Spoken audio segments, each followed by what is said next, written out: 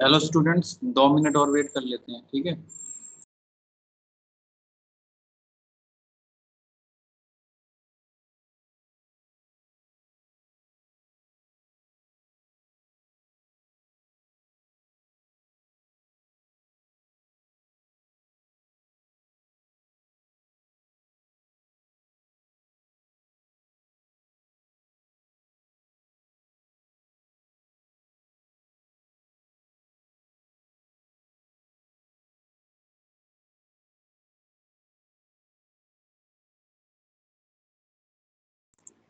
पारस मेरी आवाज़ आ रही है?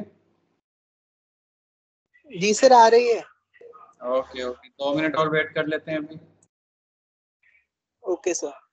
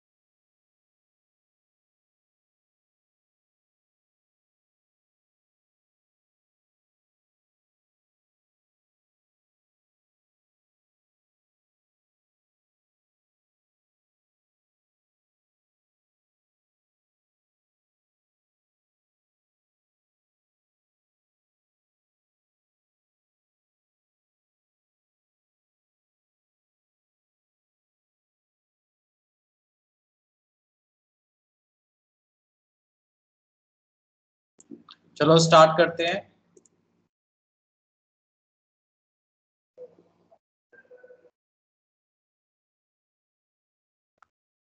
यस सर पीपीटी दिखाई दे रही है स्लाइड यस सर ठीक है थोड़ा सा रिव्यू कर लेते हैं उसके बाद कुछ न्यूमेरिकल सॉल्व करेंगे। Okay okay. तो देखो सर्वेइंग के जो सर्वेइंग की डेफिनेशन थी मैंने कहा था कि सर्वेइंग की डेफिनेशन जो है वो इंटरव्यू में पूछी जाती है और एक पूछा जाता है आपसे। दो तीन चीज़ सर्वेइंग में इंटरव्यू में पूछी जाती है। एक तो डेफिनेशन, एक प्रिंसिपल। प्रिंसिपल को थोड़ा अच्छे से जो इंटरव्यू लेता है वो थोड़ा अच्छे से पूछता है कि एग्ज़ाम्पल दो हमें। ठीक है?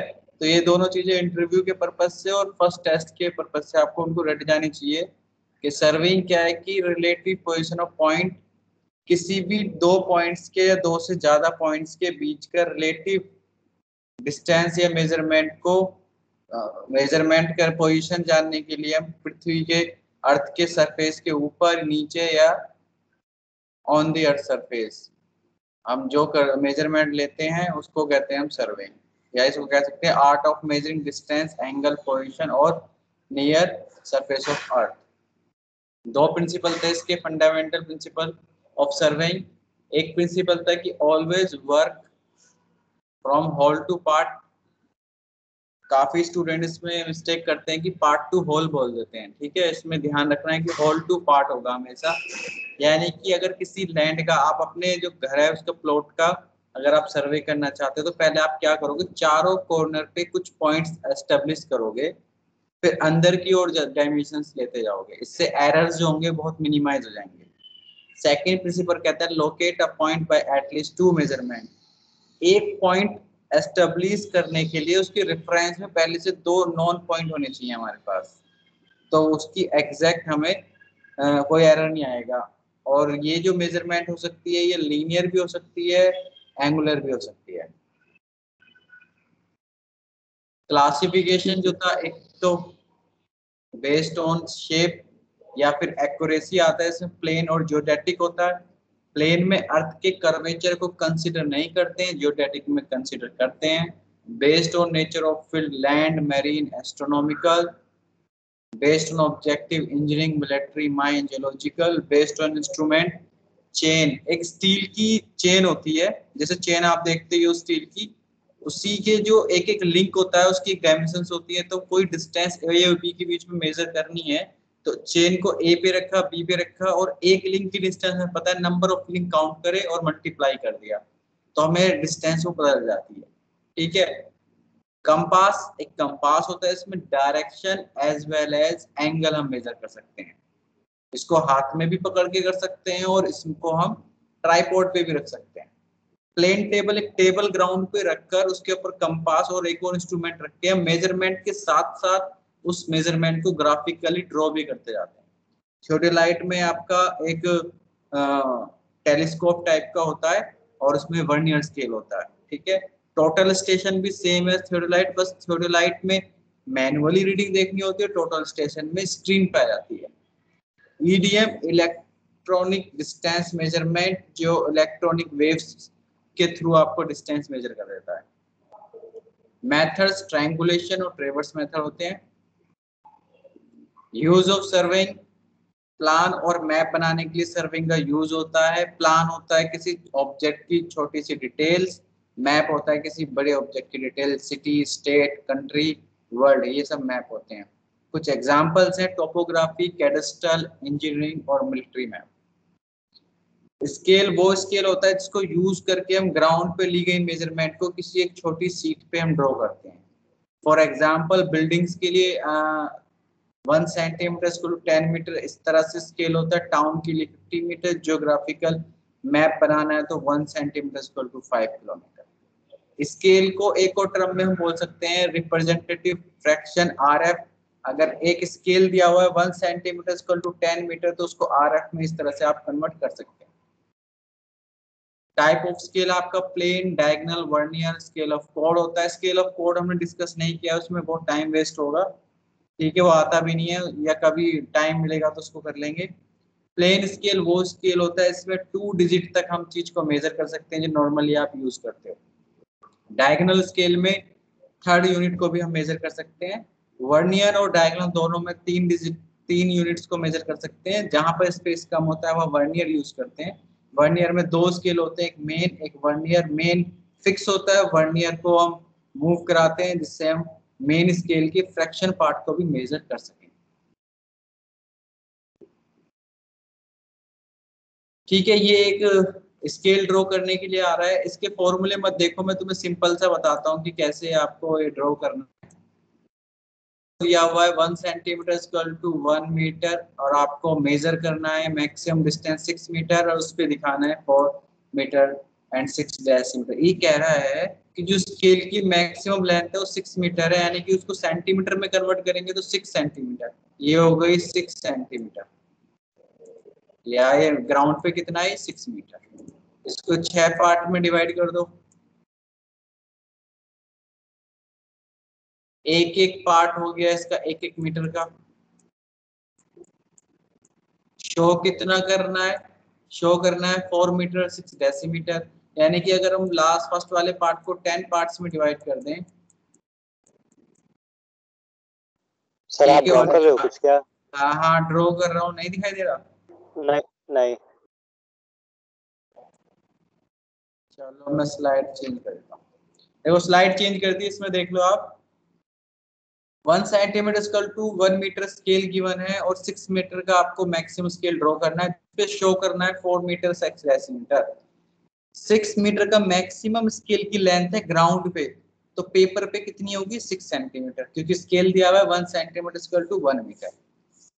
तो हमने एक सिक्स सेंटीमीटर की लाइन खींची और उसको हमने एक बॉक्स बना के रेक्टेंगुलर उसको डिवाइड कर दिया सिक्स पार्ट में। हर एक पार्ट अब हमें दिखा रहा है, अगर आप सेंटीमीटर में बोलोगे तो हर एक पार्ट हमें दिखा रहा है वन सेंटीमीटर और अगर आप ग्राउंड की मेज़रमेंट के हिसाब से लोगे तो वन मीटर, क्योंकि स्केल हमारा one centimetre square to one metre है। फ़र्स्ट ब्लॉक को टेन पार्ट में डिवाइड कर देना है। वन पार्ट जो है पूरे ब्लॉक का है आपका वन मीटर। तो अगर इसको टेन पार्ट में डिवाइड कर देंगे तो ये हो जाएगा पॉइंट वन मीटर। और ज़ीरो से स्टार्ट करना है फ़र्स्ट ब्लॉक के बाद zero, one, two, three, four, five. Four metre, six decimetre आपको मेजर करना है तो चार ब्लॉक ले लो। चार मीटर हो गया और सिक्स ब्लॉक छोटे वाले ले लो। तो six, four metre, six decimetre आपका इस तरह से ये शो हो गया। तो एग्ज़ाम में अगर आता है तो इस तरह से आपको ड्रॉ करना है। अब ये कह रहे हो कि एग्ज़ाम में अगर ये आता है तो हो सकता है कि एग्जैक्ट हम ना कर पाए। इसमें रफली भी चलता है, लेकिन आपको शो करना पड़ेगा हर चीज़। रफली का मतलब ये नहीं है कि बिल्कुल बिना स्केल के यूज़ करके बना दिया, हाथ से ही हैंडमेड हो गया, लाइन भी सीधी नहीं है। रफली का मतलब ये है कि एग्जामिनर जो है उसको मेजर नहीं करेगा कि आपने कितने सेंटीमीटर की लाइन खींची है। बट उस पर शो होना चाहिए कि भाई हमने सिक्स पार्ट में डिवाइड किया है वन पार्ट इतने का है और फिर फ़र्स्ट वाले पार्ट को टेन पार्ट्स में डिवाइड किया और ये हमने इसको डार्क करके दिखा देना है कि मेज़रमेंट जो आपने पूछी है वो यहाँ से यहाँ तक होगी। तो भी आपका आंसर सही होगा। ठीक है? अब दिक्कत ये होती है स्टूडेंट के साथ कि जब एक ब्लॉक को टेन पार्ट्स में डिवाइड करते हैं ना तो उनको दिक्कत आती है। उसको एक तरीका होता है, वो बता दूँगा, वो तरीका थोड़ा है ना, करके ही बताना होगा। स्क्रीन पे नहीं बता सकते। आप यूट्यूब पे देख लेना किसी लाइन को सिक्स पार्ट में कैसे डिवाइड करें? अब जैसे ये लाइन सिक्स सेंटीमीटर की है और उसको सिक्स पार्ट में डिवाइड करना है तो आप तो वन वन सेंटीमीटर पे मार्क करके कर दोगे। बट अगर मैं बोलता कि ये सेवन सेंटीमीटर की है और उसको सिक्स पार्ट में डिवाइड करना है, तब तब आप कैसे करोगे? है ना? तब स्केल यूज़ करके तो नहीं हो पाएगा। तो उसका एक तरीका होता है, एक लाइन डायगनली खींच के उसको पार्ट्स में डिवाइड करना होता है इक्वल डिस्टेंस पे, फिर परपेंडिकुलर लाइन खींचनी होती है। कि आप किसी भी लाइन को जितने चाहे पार्ट्स में डिवाइड कर सकते हो इक्वल डिस्टेंस तो तरीका आप यूट्यूब पे सर्च कर लेना, मैं सर्च करके वीडियो का लिंक भेज दूँगा, या कभी फिजिकली क्लास होगी तो मैं समझा दूँगा। ठीक है? यहीं पर दिक्कत आती है और कोई दिक्कत नहीं आती कि आप टेन पार्ट्स में डिवाइड नहीं कर पाते। कभी कभी क्या होता है डायगनल स्केल जब ड्रॉ करते हैं तो शीट छोटी पड़ जाती है, आपके पास पेन से बनाना स्टार्ट किया है तो आप क्या करा करो ना, जो फ़र्स्ट वाला ब्लॉक है ना, उसको एनहेंस करके अलग से बना दिया करो, बता दिया करो कि हमने बड़ा करके हम दिखा रहे हैं इसको। तो इस तरीके से आपको ये बनाना है। जो एग्जामिनर होता है, वो बस ये देखता है कि मेज़रमेंट तो करता नहीं है, वो ये देखता है कि साफ़ सुथरा कितना है नीट एंड क्लीन कितना है, और सही से dimension four metre six decimetre बोला है तो ये है या नहीं है, बस इतना देख के वो चेक कर देता है। तो इस चीज़ का ध्यान रखना है आपको। ठीक है। इसके बाद आता था आपका डायगनल स्केल जो आपका फ़र्स्ट ब्लॉक था प्लेन स्केल में जिसको टेन पार्ट्स में डिवाइड कर दिया था जो एक पार्ट्स अब एक पॉइंट वन मीटर का था उसी के अगर एक सर स्लाइड स्लाइड क्वेश्चन पे ही है अभी। इस पे है? क्वेश्चन पे ही है वन सेंटीमीटर वन मीटर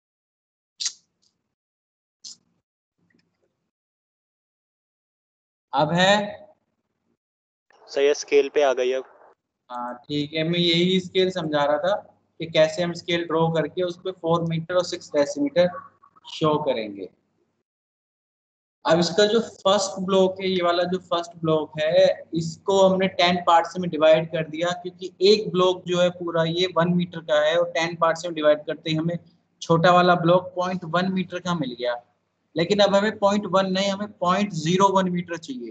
तो इसका जो छोटा वाला ब्लॉक है, इसी को अगर हम डायगनली कट करके इस तरीके से डायगनली कट करके और फिर टेन पार्ट्स में डिवाइड कर दें तो हमें पॉइंट ज़ीरो वन मीटर मिल जाएगा, यानी कि प्लेन स्केल में दो डेसिमल तक मिल रहा था और इसमें हमें तीन डेसिमल तक मिल गया, यानी तीन यूनिट्स में मिल गया है डायगनल में। ठीक है? अब जैसे कि इसमें, इस ट्राइंगल में देखो ब्लॉक की जो लेंथ है वो ज़ीरो से वन मीटर है। बट इसको डायगनली कट करके हमने टेन परसेंट डिवाइड किया। अगर ए पे मैं जाता हूँ तो ये होता है पॉइंट मीटर बी पे पॉइंट टू सी पे पॉइंट थ्री इस तरह से जे पे जब मैं पहुँचता हूँ तो पॉइंट वन मीटर कंप्लीट हो जाएगा। तो इस तरह से आप डायगनल स्केल ड्रॉ कर सकते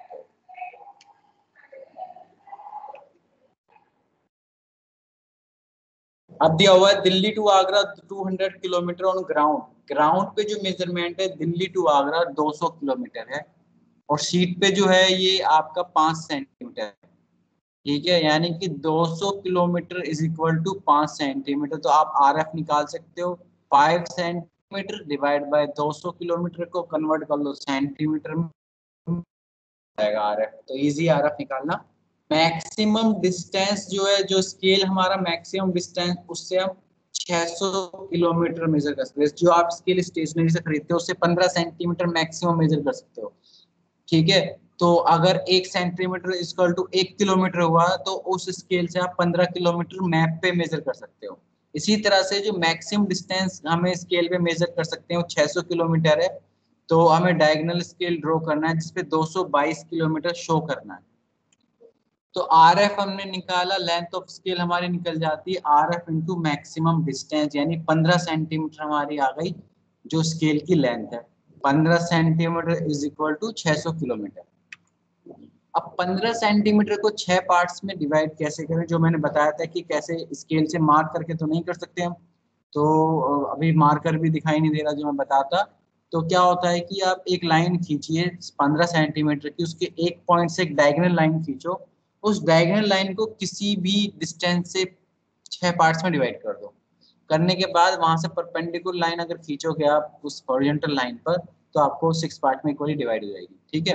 तो यूट्यूब का लिंक मैं भेज दूँगा, मिलेगा तो। तो 15 सेंटीमीटर का स्केल ड्रॉ किया, जो इक्वल टू है आपके 600 किलोमीटर के, उसको सिक्स पार्ट में डिवाइड किया, हर एक पार्ट 100 किलोमीटर का है। यानी कि अब आप इस पे मिनिमम कितना मेजर कर सकते हो? 100 किलोमीटर। लेकिन हमने जो फ़र्स्ट ब्लॉक है, उसको 10 पार्ट्स में डिवाइड कर दिया तो अब एक छोटा वाला जो ब्लॉक है, वो कितना दिखा रहा है? 10 किलोमीटर। तो यानी कि आप इस स्केल से आप मेजर कर सकते हो 10 किलोमीटर 220 किलोमीटर आप मेजर कर सकते हो इसे। पर हमें कितना शो करना है? 222 किलोमीटर। तो 220 कैसे किया आपने? बड़े वाले दो ब्लॉक ले लिए 100 किलोमीटर, और छोटे वाले दो ब्लॉक ले लिए 10-10 किलोमीटर। तो 220 किलोमीटर हो गया। अब 220 के बाद जो नेक्स्ट ब्लॉक है 10 किलोमीटर वाला, अगर उसको भी मैं काउंट कर लूँ तो 230 हो जाएगा। यानी कि 10 किलोमीटर वाला जो मैं ऐड कर रहा हूँ, उससे पहले उसके बीच में ही हमें कहीं डिस्टेंस को ले जाना है, जो 222 में मेजर कर सकूँ। तो मैंने क्या किया, जो 10 किलोमीटर वाला ब्लॉक है, उसको डायगनली कट करके टेन पार्ट्स में डिवाइड कर दिया, जो हर एक पार्ट अब मेरे को दिखा रहा है वन किलोमीटर तो 220 तो मैं मेजर कर चुका था, दो ब्लॉक और मेजर कर लीजिए डायगनल वाले तो 222 किलोमीटर आपका ये हो गया। तो इस तरह से हम डायगनल स्केल में 222 किलोमीटर शो कर सकते हैं। अब वन ईयर स्केल क्या होता है कि आप किसी एक स्केल का फ्रैक्शनल पार्ट को मेजर करना चाहते हो।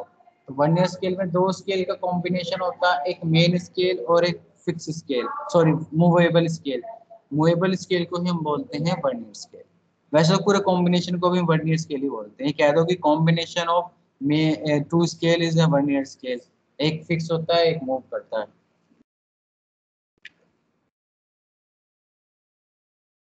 तो ये इस तरह का एक वर्नियर स्केल होता है। इसमें देखो, देखोगे आप, नीचे वाला जो स्केल का पार्ट है, वो मूव करता है और ऊपर वाला फिक्स रहता है। और इसमें जो उन्होंने मेजर की है डिस्टेंस 11.7 mm की है, जबकि ऊपर वाला कितना कर सकता है? केवल एक एम mm मेजर कर सकता है वो मिनिमम लीस्ट काउंट जो ऊपर वाले का, वो एक एम mm है। तो 11 एम mm कर सकता है 12 कर सकता है 10 एम mm कर सकता है, ठीक है। अब नीचे वाले का जो लीस्ट काउंट है पॉइंट वन एम एम है, ठीक है। तो जब हमने बीच में ऑब्जेक्ट रखा दोनों स्केल के और नीचे वाला स्केल मूव हुआ तो हमें ये देखना होगा कि ऊपर वाले का जो बार्स हैं और नीचे वाले बार्स हैं, वो कहाँ पे कॉन्साइड कर रहे हैं।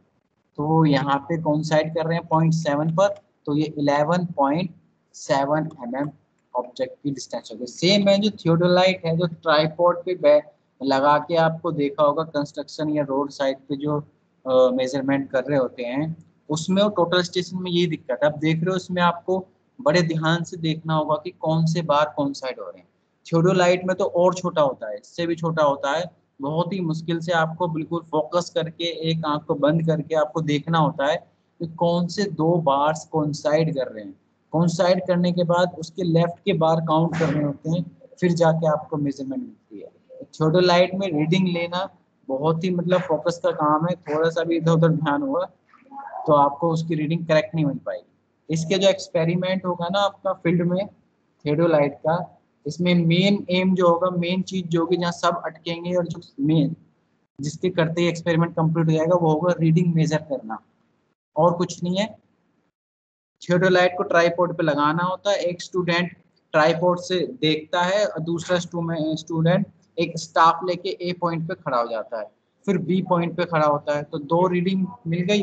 तो जो स्टूडेंट को बस जिस टाइम वो वन ईयर स्केल पे मेजर करनी होती है रीडिंग और कुछ नहीं है इसमें। रीडिंग जिसको देखनी आगे सब लोग थोड़ी लाइट चला सकता है, किसी भी ग्राउंड की मेज़रमेंट कर सकता है।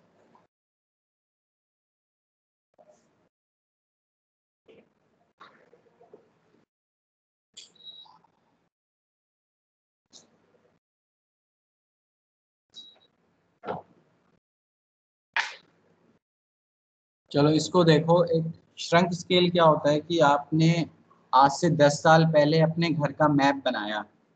ठीक है? उस मैप में आपने हर चीज़ दिखाई है शो की है कि आपने किचन यहाँ पे है बाथरूम यहाँ पे, सब चीज़ यहाँ पे है।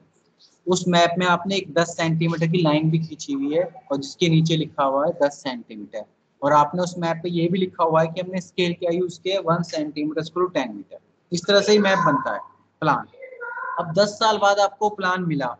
और आप ये चाहते हैं कि यार मैं चाहता हूँ किचन की लेंथ देखना चाहता हूँ, किचन हमारी कितनी बड़ी है। बिना किचन में ही जाए। मान लो आप अपने घर पे हो नहीं, आप कहीं हो और और आप चाहते हो कि मैं अपनी किचन का एरिया मेजर करना चाहता हूँ, बिना किचन में जाए तो आप क्या करोगे? आपका जो मैप है प्लान है आपके घर का, उस किचन को मेजर कर लोगे। मान लो कुछ सेंटीमीटर में आएगी वो एरिया उसको कन्वर्ट कर लोगे जो आपने स्केल लिया है तो आपको मेज़रमेंट मिल जाएगी। आपके किचन की बिल्कुल सही है, कोई दिक्कत नहीं। बट यहाँ दिक्कत क्या आ गई?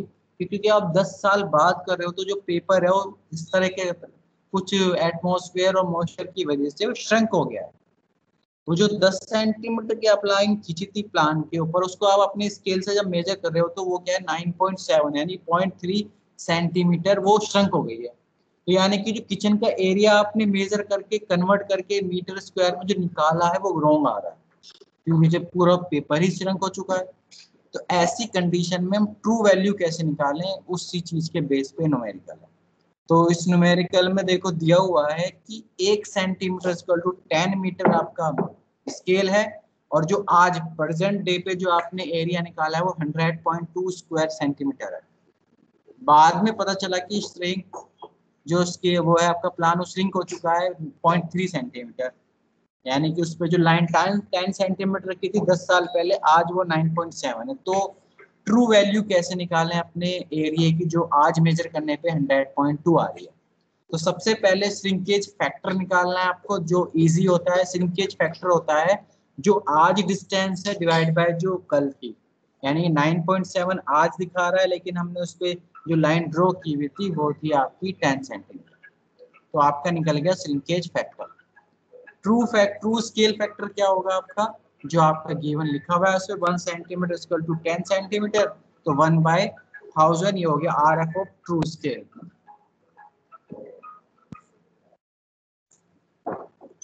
अब इसमें पूछा हुआ है, क्योंकि न्यूमेरिकल में पूछा हुआ है कि श्रंक स्केल भी निकालो तो श्रंक स्केल होता है आपका shrunk factor into R F of true scale तो ये हमारा श्रंक फैक्टर निकल गया, कोई नहीं। अब इसने कहा है कि अगर 9.7 सेंटीमीटर इक्विवेलेंट टू 10 सेंटीमीटर तो जो प्रेजेंट एरिया है 100.2 स्क्वायर मीटर वो इक्विवेलेंट किसके होगा? वो 10.10 डिवाइड बाय 9.7 का square into 100.2 square centimetre is equal to 106 simple calculation है मैथमेटिक्स है। इतने सेंटीमीटर इक्वल टू इतना है तो वन सेंटीमीटर इक्वल टू कितना होगा? तो इतने सेंटीमीटर स्क्वायर इक्वल टू कितना होगा? ऐसे निकालते थे ना वही कैलकुलेशन निकाली है इसने और जो हमारा ट्रू वैल्यू आ गई है, वो आ गई है hundred six point four nine centimetre square तो मीटर में कन्वर्ट करेंगे तो इसमें आ गया one zero six four nine square metre बहुत इजी होता है, बस आपको ये देखना है कि नोमेरिकल में पूछा क्या है। न्यूमेरिकल में दो चीज़ें पूछी है shrunk scale true value of area shrunk scale का फॉर्मूला होता है shrunk factor minus R F of true scale अगर ट्रू स्केल दिया हुआ है one centimetre equal to ten metre तो आर एफ़ निकाल सकते हो। और श्रंक फैक्टर क्या होगा? आज की लेंथ डिवाइड बाय पुरानी लेंथ तो श्रंक फैक्टर निकल जाएगा। ठीक है?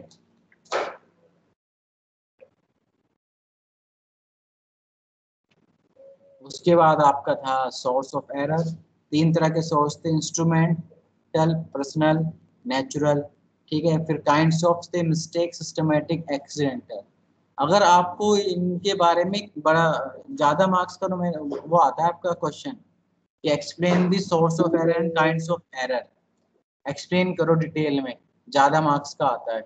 तो आप ये ध्यान रखना इंस्ट्रूमेंट तो नाम से पता चल रहा है कि इंस्ट्रूमेंटल एरर है। पर्सनल एरर नाम से पता चल रहा है जो पर्सनल एरर है, जो आपका ह्यूमन एरर है, जो आपका केयरलेस केयरलेसनेस हो जाता है या फिर आपका इनएक्सपीरियंस के वजह से हो जाता है और नेचुरल जो है आपका एटमोसफेयर कंडीशन की वजह से हो जाता है। तो इनको आप रिलेटिव रिलेट कर सकते हो काइंड्स ऑफ़ एरर से मिस्टेक किससे होती है ह्यूमन से होती है मिस्टेक जो है, जो मिस्टेक की डेफिनेशन होंगी, वो पर्सनल की डेफिनेशन होंगी। सिस्टमेटिक इंस्ट्रूमेंटल एरर होता है, एक बार जो एरर इंस्ट्रूमेंट में हो गया, वो हर रीडिंग में ऐड होता जाएगा। तो सिस्टमेटिक क्या इंस्ट्रूमेंटल तो जो इंस्ट्रूमेंटल की डेफिनेशन याद करोगे, वो आप सिस्टमेटिक में लिख सकते हो, थोड़ा सा और एड ऐड करना होता है सिस्टमेटिक में। एक्सीडेंटल क्या होता है, वो रैंडम एरर जिसे बोलते हैं, जो आप जब ये तीनों चीज़, तीनों एरर आप निकाल दोगे तो जो लास्ट में एरर बढ़ जाता है, जिसका सोर्स नहीं पता हमें, वो एक्सीडेंटल एरर आपका हो सकता है इंस्ट्रूमेंटल भी हो पर्सनल भी हो नेचुरल भी हो, लेकिन हमें नहीं पता ना कि कौन सा सोर्स है। अब सोर्स नहीं पता तो हम ठीक कैसे करेंगे? इसलिए एक्सीडेंटल एरर हमेशा रहता है, उसको मिनिमाइज कर सकते हैं, केवल हम। तो कुछ डेफिनेशन की ऑब्जर्वेशन होती है जो क्वांटिटी जो मेज़रमेंट करते हैं। एक होती है इंडिपेंडेंट क्वांटिटी जो किसी दूसरी क्वांटिटी पर डिपेंड नहीं करती। कंडीशनल होती है, जो कंडीशन पे डिपेंड करती है। ट्रू वैल्यू वो होती है जो फ्री ऑफ़ एरर होती है। वेट ऑफ़ ऑब्जर्वेशन जिस ऑब्जर्वेशन के ज़्यादा चांस होते हैं ट्रू वैल्यू के पास होने के उसका वेट ज़्यादा होता है। मोस्ट प्रोबेबल वैल्यू जिसका वेट ज़्यादा हो, वो मोस्ट प्रोबेबल वैल्यू होगी। जिसके चांस ज़्यादा हो ट्रू होने की वो मोस्ट प्रोबेबल वैल्यू होगी। ट्रू एरर क्या होगा? Observe value minus true value तो ट्रू ट्रू एरर होगा। रेजिडुअल एरर क्या होगा? ऑब्ज़र्व वैल्यू माइनस मोस्ट दोनों की डेफिनेशन में क्या डिफरेंस है? ट्रू एरर में ट्रू वैल्यू में से माइनस कर रहे हो। ऑब्ज़र्व वैल्यू को रेजिडुअल एरर में किसमें से माइनस कर रहे हो? मोस्ट प्रोबेबल वैल्यू में से। ये ऑब्ज़र्व इक्वेशन है कि आप दो क्वांटिटी को मेजर किया, उसको चेक भी कर सकते हो। जैसे कि 40 डिग्री और 140 डिग्री दोनों को चेक कैसे करोगे कि दोनों का सम 180 आना चाहिए। कंडीशन इक्वेशन ट्राइंगल में तीनों का सम एंगल का 180 आना चाहिए। एक्सीडेंटल और रैंडम एरर को मिनिमाइज करने के लिए हम थ्योरी ऑफ़ प्रोबेबिलिटी यूज़ करते हैं, क्योंकि वो एक लॉ फॉलो करता है। उसके तीन साइलेंट फीचर हैं, जिसमें होता है कि small error more frequent large error infrequent और पॉजिटिव नेगेटिव एरर है सेम साइड ये तीन फीचर्स हैं, ये थ्योरी में ये क्वेश्चन ज़रूर पूछा जाता है।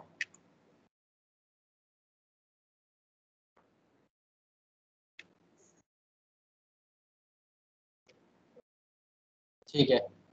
इसके बाद केस था कि अगर आपको सीरीज़ ऑफ़ एरर्स दी हुई है सीरीज़ ऑफ़ रीडिंग दी हुई है तो उसमें प्रोबेबल एरर कैसे निकाला? अगर एक सिंगल यूनिट है, एक सिंगल मेज़रमेंट है तो उसमें एरर निकालने के लिए आपको पॉइंट के बाद जितने डेसिमल है, उतने ज़ीरो लगा के फाइव टू फाइव और मैक्सिमम एरर फाइव लगाना होता है। बट एक सीरीज़ ऑफ़ आपके पास ऑब्जर्वेशन है तो प्रोबेबल एरर कैसे निकालेंगे? तो उसके लिए इक्वेशन है, अगर आप सिंगल मेज़रमेंट में निकालना चाहते हो फ्रॉम सीरीज़ ऑफ़ ऑब्जर्वेशन तो E S is equal to plus minus zero point six seven four five under root summation of V square under divide by N minus one same as इसको divide कर देंगे अगर root N से तो mean में probable error निकल जाएगा।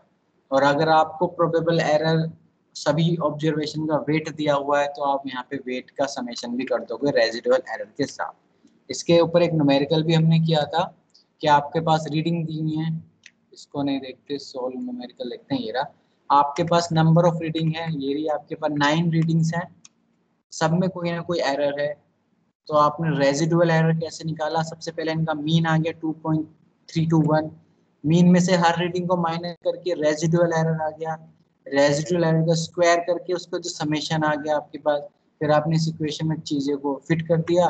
तो आपके पास probable error of single measurement और प्रोबेबल एरर ऑफ़ मीन दो चीज़ें आपको आ गई।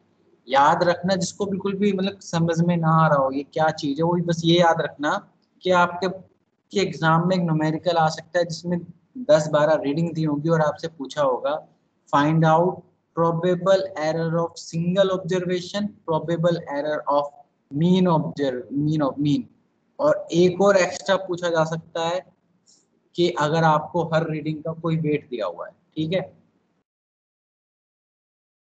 उसके बाद था हमारा एरर इन कंप्यूटेड रिज़ल्ट जिसमें हमने एडिशन में निकाला था एरर सब्ट्रैक्शन में निकाला था मल्टीप्लिकेशन में भी निकाल लिया था, और डिवीज़न में भी निकाल लिया था। सिंपल सा है, आपको देखना एडिशन और सब्सट्रैक्शन का सेम है प्रोबेबल एरर मल्टीप्लिकेशन और डिवीज़न का सेम है प्रोबेबल एरर और पावर का अलग है। तो ये पाँच है A B C D E ये पाँचों के पाँच आ सकते हैं। बड़े मार्क्स में पूछा जाता है कि explain the error in computation तो आपको पाँचों ड्राइव करने होंगे, या फिर इनके ऊपर तीन या चार नंबर का, दो नंबर का एक न्यूमेरिकल आ जाता है, जिसमें क्वांटिटीज दी होती हैं और आपको मैक्सिमम एरर और प्रोबेबल एरर फाइंड करना होता है। ठीक है? इनके ऊपर भी मैं न्यूमेरिकल करा चुका हूँ।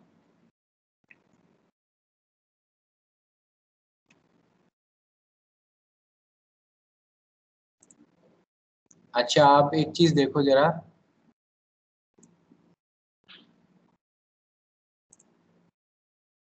आप सबको ये मैंने ओलंपस ग्रेट लर्निंग खोला हुआ है इसमें स्टूडेंट की लिस्ट दिखाई दे रही है। यस सर यस सर इसमें देखो मैं नाम बोल रहा हूँ ये नाम नोट कर लेना और ये इनको इन्फॉर्म करना क्योंकि टेस्ट क्विज जो होगा इसी पे होगा टेस्ट जो होगा आपका। एक तो आशीष है इसने अभी तक नहीं बनाया है यूज़र आईडी एक ज्ञान है, आशीष ज्ञान, और एक है कुणाल, एक है सलीक हुसैन, एक है शुभम, और एक है विवेक। और तुम में से कोई है इसमें से या कोई इनमें से ऐसा है जिसको अभी तक नहीं है, मेरी है इसकी आईडी पासवर्ड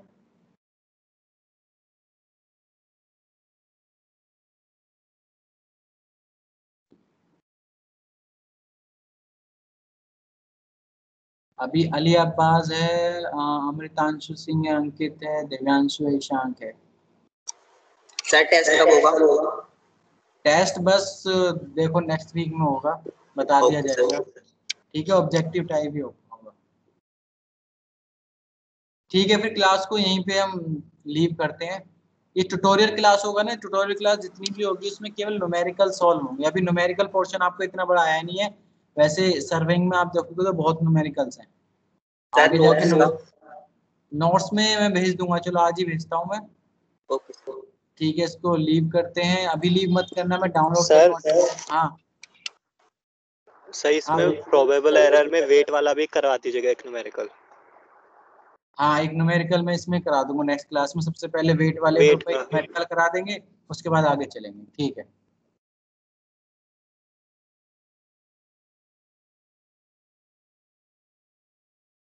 ठीक है अब लीव सकते हो आप क्लास